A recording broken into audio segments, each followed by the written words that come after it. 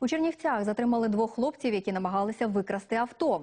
Після кількох пляшок алкоголю молодикам спало на думку покататися на автомобілі.